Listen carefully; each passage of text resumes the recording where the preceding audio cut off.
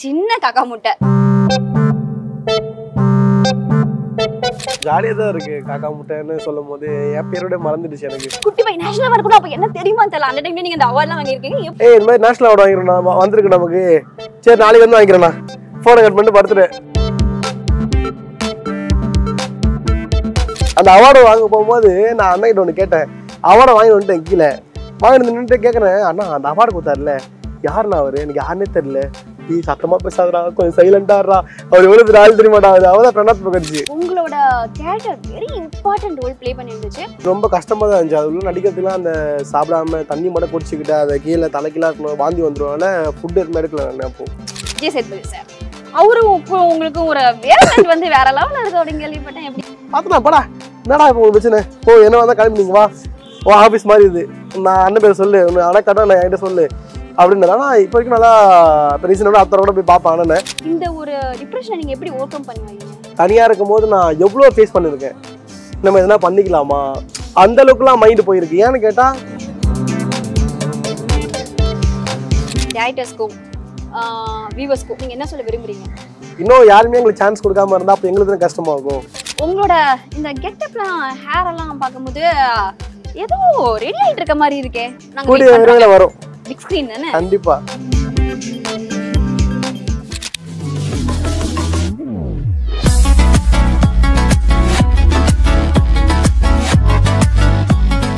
Hi hello வணக்கம். நம்மளோட south ஸ்டேஜ்ல ஒரு சினிமா ஸ்பெஷலா ஒரு எபிசோட் தான் இன்னைக்கு பார்க்க போறோம். சினிமால சாதிச்ச விஷயங்கள் அப் அண்ட் டவுன்ஸ் டிஃபிகல்ட்டிஸ் அப்படின்னு ஒரு குட்டி ஸ்டோரி சொல்ல ஒரு செலிபிரிட்டி நம்ம கூட வந்திருக்காங்க. வாங்க பார்க்கலாம். காக்கா முட்டை. இல்ல இல்ல. சின்ன காக்கா முட்டை இதுதான் உங்களோட இனிஷியல் ஜேர்னி ஆல்சோ உங்களோட இனிஷியல் ஐடென்டிட்டியா இருக்கு. எப்படி ஃபீல் பண்றீங்க? ஆஹ் அது என்ன ஜாலியாக தான் இருக்கு காக்கா முட்டைன்னு சொல்லும் போது என் பேரோட மறந்துடுச்சு எனக்கு. என் பேர் வந்து ரமேஷ் ரியல் பேர். ஆனால் மோஸ்ட்டாக எல்லாரும் கூப்பிட்றது டேய் காக்கா முட்டை டேய் காக்கா முட்டை டே முட்டை டே காக்கா அப்படி தான் கூப்பிடுவாங்க. அதனால் அடிக்கடிக்கு சில டைம்லாம் ஏதோ ஏதோ ஒரு என் பேர் போகிறேன்னு பேரில் காக்கா முட்டைன்னு போட்டுருவேன் அந்தளவுக்கு என் பேரே மறந்துடுச்சு. காக்கா முட்டை ஒரு அதெல்லாம் என் பேர் அப்படி ஆயிடுச்சு. அதனால் காக்கா முட்டை ரொம்ப பிடிக்கும்.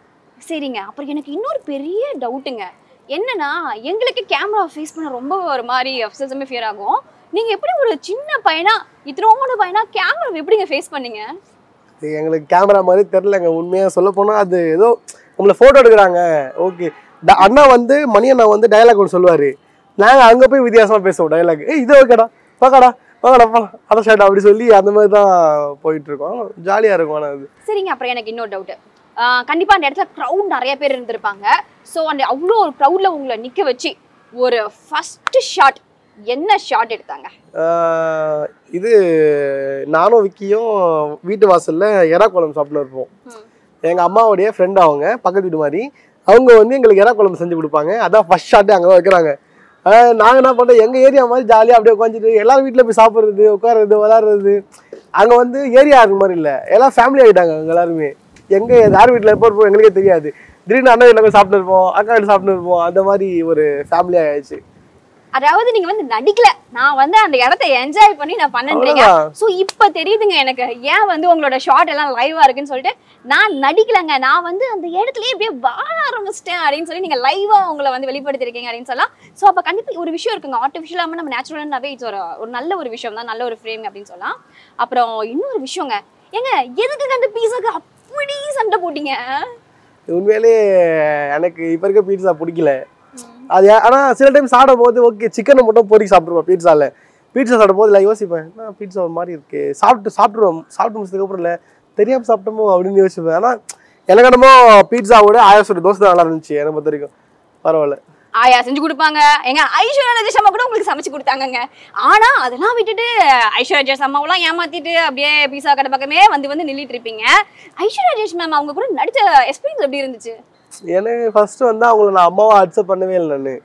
ஒரு சீன் வந்து நாங்கள் என்னை வந்து கண்டுபிடிச்சிருவாங்க. அதில் அக் பண்ண போனோம் அம்மாவை. கிட்டத்தட்ட ஒரு இருபது ஷாட் போயிட்டு இருக்குது. கிட்ட போய் நின்றுனேன் ஆனால் அம்மா மாதிரி தெரில நான் அண்ணன் டேரக்டர் சொல்கிறேன் அவர் வந்து டேய் ஆ ஒன்றும் இல்லை ஒரே ஷாட் நான் சீக்கிரம் பண்ணுறேன் டைம் ஆயினு வெயில் சன்செட் போயினுன்றேன் நான் சரி ஓகே நான் சொல்லிட்டு லாஸ்ட்டாக அவங்க என்ன கெஞ்சிட்டாங்க டேய் நான் உனக்கு அம்மா மாதிரி தான்டா. நம்புடா. பேசுடா. கட்டி போடுறா. ஒரே ஷாட்டுடா சொல்லிட்டு அதுக்கப்புறம் தான் ஓகே ஓடி வந்து அந்த கட்டி போடுவேன் ஷாட்டு ஒரு அந்த தவளைக்கா பிடிச்சிட்டு இருப்போம். ஓடும் அவங்கள பார்த்து ஓடுவானுங்க சீன் பார்த்தீங்களா தெரியல. அந்த சீன்ல வந்து லாஸ்ட் நான் கண்டுபிடிக்கணும். அந்த சீன்ல ஐயோ ஐயோ சரியான படம் அது ஒரு அவங்கலாம் ஒரு நல்ல ஒரு கேரக்டர் ஆனா உண்மையிலே. ஏதாவது டீச் பண்ணாங்களா? இப்படி ஆக்ட் பண்ணும் அப்படின்லாம்? அப்படிலாம் இல்ல.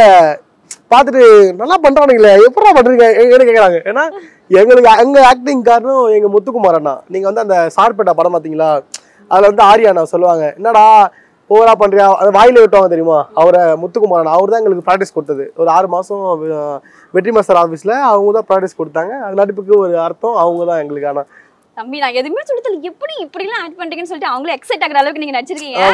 அதனால தாங்க நேஷனல் அவார்டு கூட நீங்க வாங்கியிருக்கீங்க. கரெக்டா ஃபர்ஸ்ட் படத்துல குட்டி பை நேஷனல் அவார்டு கூட அப்ப என்ன தெரியுமா தெரியல. அந்த டைம்ல நீங்க அந்த அவார்ட்லாம் வாங்கியிருக்கீங்க. எப்படி இருந்துச்சு அந்த எக்ஸைட்மெண்ட் ஆச்சு? இல்ல அது சொல்லப்போனா ஒரு சில இன்டர்வியூல சொல்லிருப்பா அது அதுக்கான ஆன்சர் என்ன வீட்டை சாதாரணமா பார்த்துட்டு இருந்தேன். பக்கத்துல அம்மாவுடைய ஃபோன் இருந்துச்சு. அம்மா வெளியே போயிட்டாங்க. மணி அண்ணா அவார்டுக்கு சொல்லணும்னு கால் பண்ணாங்க. நான் அடுத்தேன். அண்ணா ஏய் இந்த மாதிரி நேஷனல் அவார்டு வாங்கிக்கிறேன் வந்திருக்கு நமக்கு. சரி நாளைக்கு வந்து வாங்கிக்கிறேண்ணா ஃபோனை கட் பண்ணிட்டு படுத்துட்டேன் அதான் ரியலு அதுக்கப்புறம் தூங்கிட்டு அவார்டு ஃபோன் பண்ணி என்னங்க நேஷனல் அவார்டு சொல்றேன் அவன் நாளைக்கு வந்து வாங்கிக்கிறேன் பெரிய அவார்டு அது. எங்க அம்மாக்கு தெரியும் அந்த அவார்டை பத்தி. அவர் எக்ஸ்பிளைன் பண்றாரு டெல்லியில போய் அவார்டு வாங்கணும். ஃப்ளைட் எல்லாம் வந்துடும் நமக்கு இங்க ட்ரெஸ் ஷாப்பிங் போகணும்.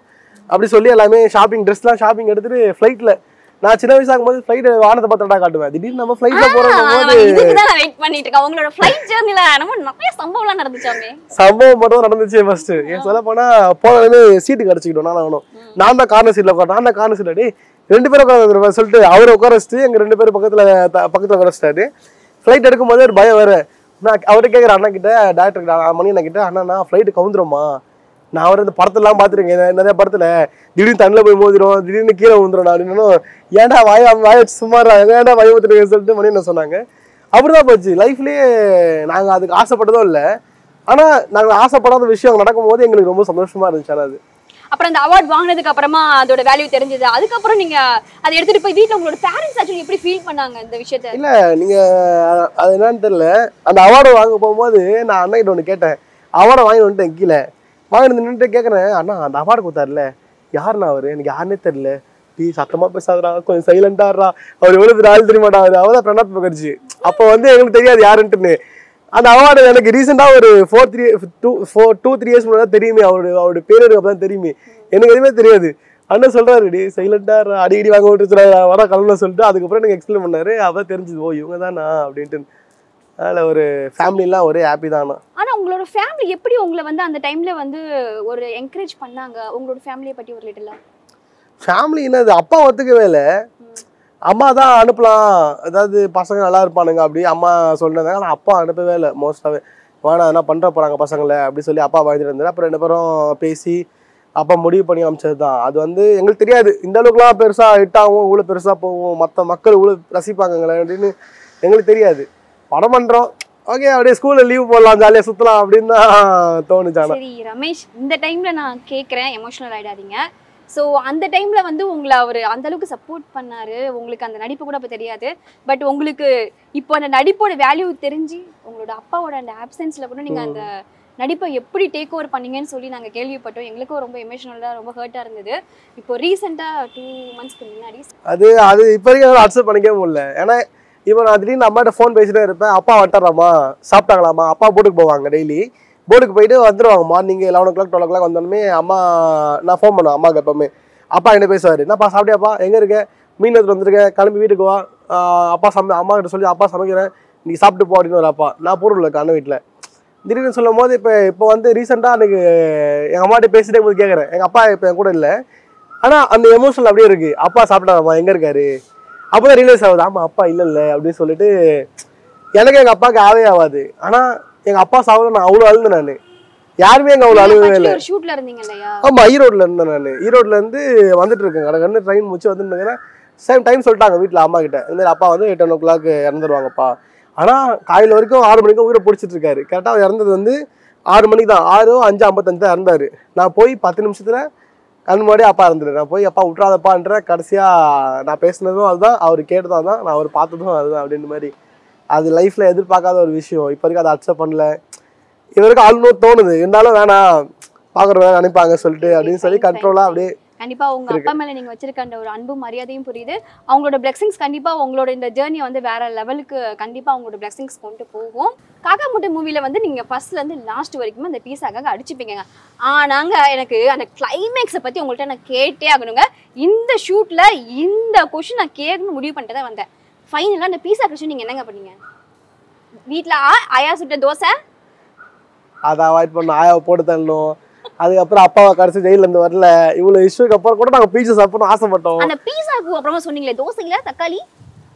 அதான்- குடமிளகா இன்னும் ரெண்டு மூணு அந்த ஐட்டம்லாம் போட்டு விட்டாங்க. அது அது நேர்ல பார்க்கும்போது நல்லா இருந்துச்சு உண்மையிலேயே. காக்கா முட்டை அந்த ரியாக்ஷன் பார்த்தீங்கன்னா அந்த ஆயா சுடும்போது நல்லா இருக்கும் போல இருக்கு பார்க்கறதுக்கு அப்படின்ட்டு என் லைஃப்ல பீட்சா பீட்சா சாப்பிட்டதே இல்லை பார்த்துருக்கேன் ஆனால் பீட்சா அப்படி இருக்கும்னு. அப்போ பண்ணும்போது யோசிச்சேன் நான் நல்லா தான் இருக்கும் போல நான் யோசிச்சுதான் அந்த கடைசியா பார்த்தா அது மாவு மாவா இருக்குது நல்லாவே இல்லை. ஐயா இதுக்கு ஆயா சுட தோசை நல்லா இருந்துச்சு அப்படின்னு சொல்லிட்டு. இதுக்கா இது நான் கொலை கொலன்னு இருக்கு அப்படின்னு டைலாக்லாம் இருக்கும். நடுவில் சூப்பராக இருக்கும். வரனால ஒரு சரியான ஃபன்னான ஒரு விஷயம் தான் அதெல்லாம். உங்களோட அடுத்த ஜெர்னி நம்மளோட நயன்தாரா மேம் கூட இருந்துச்சு. அந்த ஒரு பயணத்தில் வந்து உங்களோட character very important role play பண்ணியிருந்துச்சு. உங்களோட நான் ப்ரொஃபைலில் வந்து ரிசர்ச் பண்ணும்போது நான் ரொம்ப எமோஷ்னலாக ஃபீல் பண்ணேன். ஒரு சின்ன பையன் நம்ம காக்கமுட்டை ரமேஷாக பார்த்தவங்க எப்படி இந்த கேரக்டரை அக்செப்ட் பண்ணாங்க எப்படி நடிச்சாங்கன்னு எனக்கு ரொம்ப அமேசிங்காக எக்ஸைட்டட் ஆயிடுச்சு. உங்களுக்கு அந்த ஜேர்னி எப்படி இருந்துச்சு? இல்லை ஜேர்னி ரொம்ப கஷ்டமாக தான் இருந்துச்சு. அது உள்ள நடிக்கிறதுக்குலாம் அந்த சாப்பிடாம தண்ணி மட்டும் குடிச்சிக்கிட்டு அதை கீழே தலைக்கீழாக இருக்கணும் வாந்தி வந்துடும்னால ஃபுட் எதுவுமே எடுக்கல நான் அப்போது ஃப்ரூட்ஸு தண்ணி குடிச்சு மட்டும்தான் அப்படியே ஒரு மூணு நாள் ஷூட் போயிட்டு இருந்துச்சு ஒரு மாதிரி ரொம்ப கஷ்டப்பட்டேன் படத்துக்காக. ஆனால் நான் படத்தில் கஷ்டப்பட்ட தாண்டி படம் ரிலீஸ் ஆகும்போது நான் ரொம்ப கஷ்டப்பட்டேன். ஏன்னு கேட்டால் எனக்கு யாருமே கால் பண்ணல. அப்போ என்னன்னா என்னை யாரும் பெருசாக இது பண்ணல. ஏன்னா நான் ஒரு சாதாரண பையன் என்னதான் இருந்தாலும் ஒரு நார்மல் ஆக்டர் இப்போ தான் அதுவும் கொஞ்சமாக வந்துட்டு இருக்கோன்னும் போது அவ்வளோ யாரும் எங்களுக்கு அதுக்கான மரியாதை கொடுக்கல. நான் ரொம்ப வெக்ஸ் ஆனேன். என்னடா எல்லாம் கேட்டாங்க தம்பி நீங்கள் ஆரம்ப படத்தில் நடிச்சிங்களே என்ன முதல்ல இல்லை. எனக்கு கஷ்டமாக இருக்கும். என்னடா நம்ம அறம் அடித்தோம் நடித்தோம் ஒரு ஒரு எதுவுமே கூப்பிடவே இல்லை எங்கள் யாருமே எதுவுமே. என்னன்னு இல்லை அவனையும் சரி எங்கள் டீமில் ஒரு சில பேரும் சரி யாருமே எங்களை கூப்பிடவே இல்லை. இந்த மாதிரி வாங்க இந்த மாதிரி இன்டர்வியூ இருக்குது இந்த மாதிரி அவார்ட் இந்த ஃபங்க்ஷன் இருக்குது அங்கே உங்களுக்கு படத்தில் நான் நினைச்ச மட்டும் தான் பேர் தவிர மற்றபடி எங்களை யாருமே எதுவுமே பண்ணல. அதோடைய கஷ்டம் எனக்கு இப்போதைக்கு இருந்துட்டு தான் இருக்குது ஆனால் ரொம்ப சந்தோஷமாக இருக்குது நயன்தரா மேம் கூட படம் பண்ணோம். அவங்க ஒரு சம அம்புல் கேரக்டர் தான். ஜாலியாக வந்து பேசிட்டு இருந்தாங்க. எனக்குலாம் நயன்தாரா மேம்லாம் ரொம்ப பிடிக்கும் அப்போலாம் படத்தில் பார்த்துட்டு திடீர்னு நேரில் பார்க்கும்போது கை பிடிச்சி ஒரு சீன்லாம் பேசினாங்க.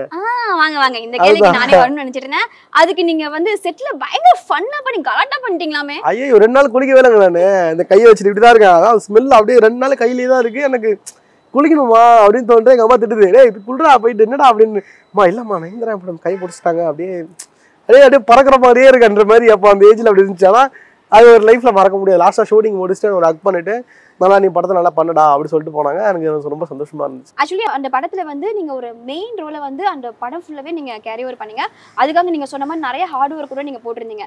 கண்டிப்பா ஃபைனலா அதுக்கு ஒரு ரிசல்ட் வந்து உங்களை ஒரு ரெகக்னிஷன் பண்ணலன்னும் போது ஒரு ஹர்ட்ஸ் எங்களுக்கு புரியுது. தெரியல எனக்கு இப்போ வரைக்கும் அதை அக்செப்ட் பண்ண முடியல. அவ்வளோதான் அந்த கஷ்டம் அப்படியே தான் இருக்கு எனக்கு அதுக்கப்புறம் நயன்தாரா மேம் பேசுனாங்களா? இல்லை இல்லை அதுக்கப்புறம் பேசல. நான் அதான் அப்போ தான் கடைசியாக பார்த்ததும் பேசினதும். அப்புறம் இந்த அறம் படத்துல வந்து இந்த ரோலை வந்து உங்களை நம்பி கொடுத்துருந்தாரு.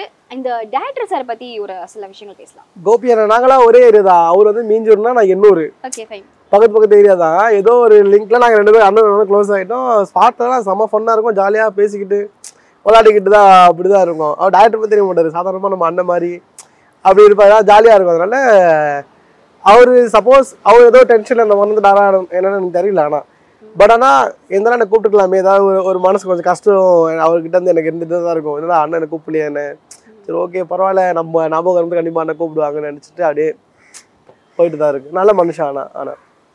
நம்மளோட சியான் விக்ரம் சார் அவரு கூட உங்களோட ஜேர்னி வந்து உங்க வீட்ல கூட ஒரு ஃபோன் பண்ணிலாம் பேசியிருக்காரு அது ஒரு நேரம் பேசினாராமேங்க அது பட்டன் ஃபோன்ல எங்க அப்பா எங்க ஏரியா ஆளுங்க நிறைய பேர் வந்துட்டு பக்கத்துல நிக்கிறாங்க. அப்பா ஹவுஸ் பேர் போட்டு பேசி நிக்காரு. ஒன் ஹவரா அவரும் அந்த மாதிரி மனுஷன்லாம் எப்படா அப்படின்ற அளவுக்கு எனக்கு யோசிச்சேன் அவ்வளோ நல்லா பேசிட்டு இருந்தார். ஆளு. அவர் வேற லெவலில் ஆனா உண்மையிலே நல்ல மனுஷன். ரொம்ப பிடிக்கும் எனக்கு. விக்ராம் சார் ரொம்ப பிடிக்கும். சூப்பரா இருக்கும். ஆனா நல்லா இருந்துச்சு. ஜாலியா இருந்துச்சு ஆனா. அதே மாதிரியே நம்மளோட அடுத்தது விஜய் சேதுபதி சார் அவரும் உங்களுக்கும் ஒரு வேற friend வந்து வேற லெவல்ல இருக்கு அப்படின்னு கேள்விப்பட்டேன். இதோ ஷர்ட் போட்டு தான் அவர் கூட ஃபோட்டோ எடுத்தேன். எனக்கு. ரீசெண்டாக ஒரு ரெண்டு மாதம் முன்னாடி தான் அப்பா இறந்தோன்னும் ஒரு ஒன் ஒரு one and half two weeks முன்னாடி அவர் பார்க்கணும் சொல்லி கிளம்பிட்டேன். அவரும் வந்து பார்த்துட்டாரு.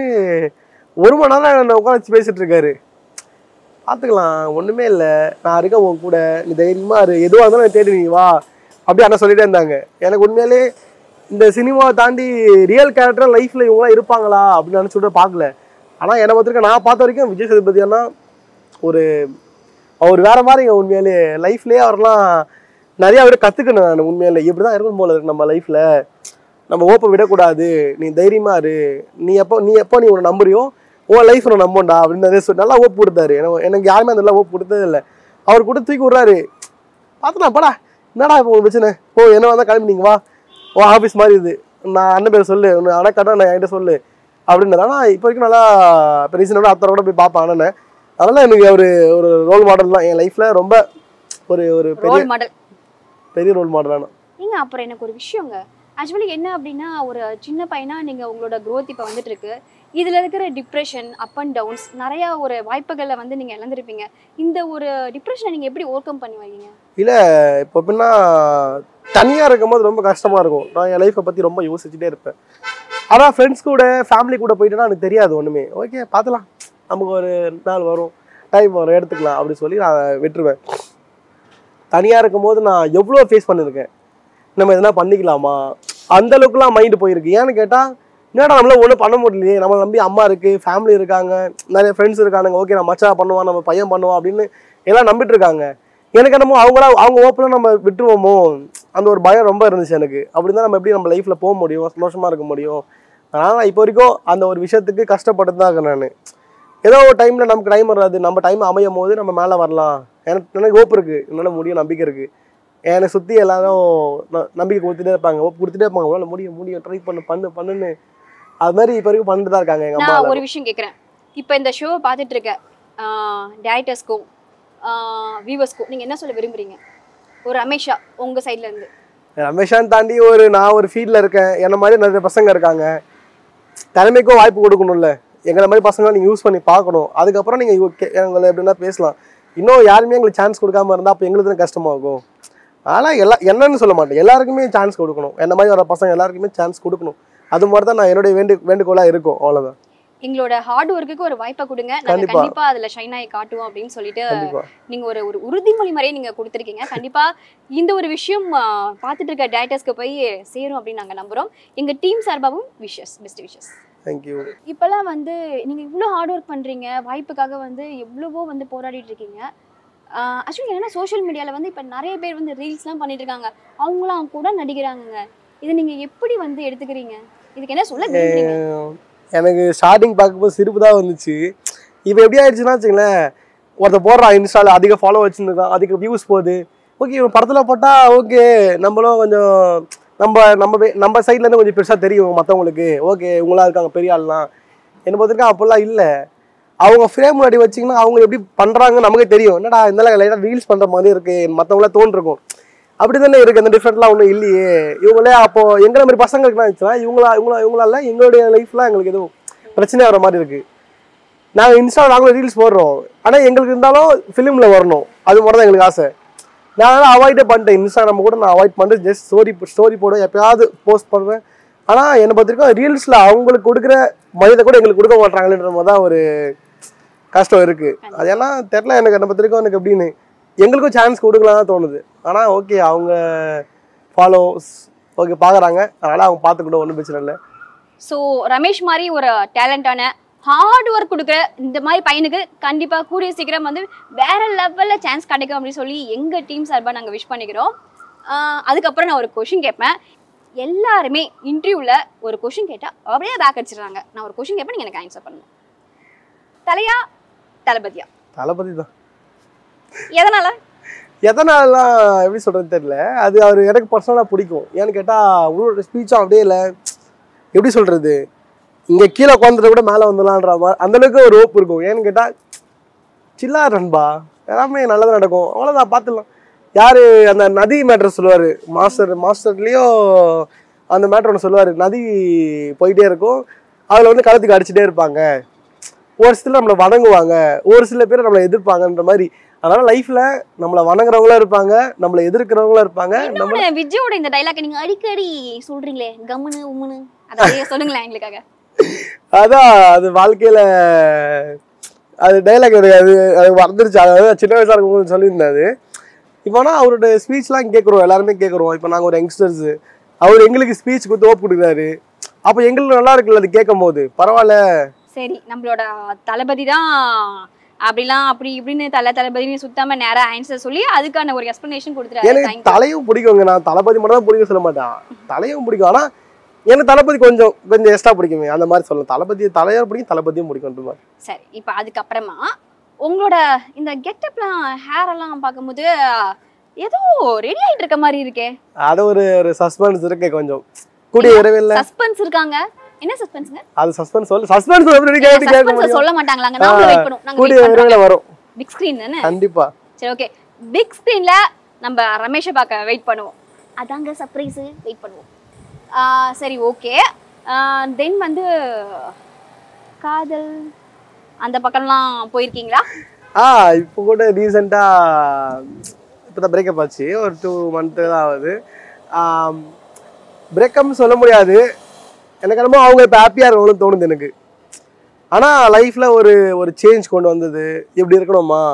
எனக்கு வந்து ஒரு அம்மா ஸ்தானத்துலேருந்து அந்த பொண்ணு என்னை பார்த்துக்கினாங்க நான் அவளை அம்மு தான் சொல்லுவேன். நான் வந்து அவங்கள பேர் சொல்றது சொல்ல மாட்டேன். அம்முன்னா அம்மு எங்கே இருக்கீங்க? சாப்பிட்டீங்களா? அவங்களாம் ரொம்ப மனிதம் கொடுப்பாங்க.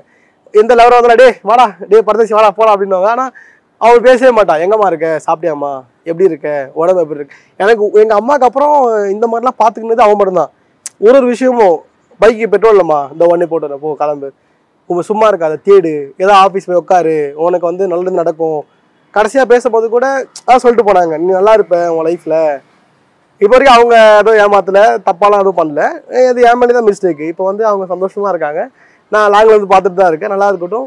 என்னால் அவங்களால நான் நிறைய மாறி இருக்கேன் என் லைஃப்பில் நிறைய எனக்கு மாறி இருக்கு. அதனால் எனக்கு சந்தோஷமா இருக்கு அவங்க ஹாப்பியாக இருக்கணும் ஹாப்பியாக மட்டும் இருக்கணும்னு நான் வேண்டிட்டு இருக்கேன். ஓகே ஃபைன் ஓகே நம்மளோட டூ கே நம்மளோட ரமேஷ் அவர்கிட்ட வந்து ஒரு ஒரு ஃபெயிலியரான ஒரு காதலாக இருந்தால் கூட அதில் ஒரு அன்பு கலந்தே அவரை வந்து ஒரு வழியாக வெளிப்படுத்தாமல் அதை கூட ஒரு ஹாப்பியாக வந்து அந்த ட்ராவலை வந்து நீங்கள் வெளிப்படுத்திருக்கீங்க. ஸோ இப்போ கூட அதை நீங்கள் ஒரு அழகாக அந்த ஒரு அன்பை வந்து வழியாக சுமக்காமல் அது ஒரு நினைவுகளாக சுமக்கிறீங்க. ஓகே ஃபைன் அப்புறம் வந்து என்ன அப்படின்னா எல்லாருமே உங்களை சின்ன காக்கா மூட்டையிலேயே பார்த்துட்டு இருக்காங்க. இந்த பொசிஷன்ல இருந்து உங்களை வந்து உங்களுக்கு இப்போ ஒரு ஐடென்டி கிரியேட் பண்ணுறதுக்கு கூடிய சீக்கிரமா ஒரு வேற லெவல் ஒரு படத்துல வந்து நாங்க உங்களை பார்ப்போம் அப்படின்னு சொல்லிட்டு எங்க டீம் சார்பா நாங்க விஷ் பண்றோம். கண்டிப்பாக தேங்க்யூ தேங்க்யூ சரிங்க. நீங்க நிறைய இடத்துல வந்து வாய்ப்பு தேடி போயிருக்கீங்க. யாராவது நான் வாய்ப்பு கொடுக்குறேன் அப்படின்னு சொல்லிட்டு உங்களை ஏமாத்திருக்காங்களா? கிட்டத்தட்ட நாலஞ்சு மூவியில் ஏமாத்திருக்காங்க அப்படிலாம் சொல்லி. அட்வான்ஸ் கொடுக்குற அளவுக்கு போயிடும். ஓகே சார் நான் ரமேஷ் இந்த மாதிரி வேணாம் அப்படின்னு சொல்கிறாங்க ரமேஷ். நான் ரெண்டு மூணு டைம் எங்கள் அம்மாட்ட கொஞ்சம் அழுதுருக்கேன். ஓகே ஏமா அப்படியா பண்ணுறாங்க நான் என்ன பண்ணேன் நான்? நான் யாருக்கு நான் பாவம் பண்ணேன்? ஒரு ஒரு சான்ஸ் கிடைக்கிறது ரொம்ப கஷ்டம் எங்கெல்லாம் சினி ஃபீல்டை பொறுத்த வரைக்கும். கிடைச்சும் சான்ஸ் கை விட்டு போகுதுன்னா அது எவ்வளோ கஷ்டமாக இருக்கும்? அது எனக்கு மட்டும் தான் தெரியும். இந்த மாதிரி ஏமாந்த பசங்க மட்டும் தான் தெரியுமே. அதனால அது ரொம்ப பெயினாக இருக்குது அது ஏன்னு தெரியல. அப்படிலாம் பண்ணாமல் இருந்தால் மற்ற பசங்க நாங்களும் நல்லா இருப்போம் சந்தோஷமா சரி, இருப்போம் எதனால அந்த ஒரு வாய்ப்பு வந்து இழக்கிறீங்கன்னு நீங்க நினைக்கிறீங்க. எதனால பாலிடிக்ஸ் இல்ல சம்திங் ஐ மீன் இப்போ சினி ஃபீல்டு ஃபுல்லாக பாலிட்டிக்கல்ஸ் அது பொலிட்டிக்கல் விஷயம் நம்ம வெளியே தான் இருக்குன்னு பார்த்தா சினி ஃபீல்டுலேயே வந்துருச்சுன்னா இப்போ எப்படி நினச்சி பாருங்களேன். இதில் மட்டும் தான் அது இல்லாமல் இருந்துச்சு. இப்போ அதுவும் ஃபுல்லாக வந்துருச்சு. அப்போ எங்களை மாதிரி பசங்கள்லாம் கண்டிப்பாக மேலே வரவே முடியாது.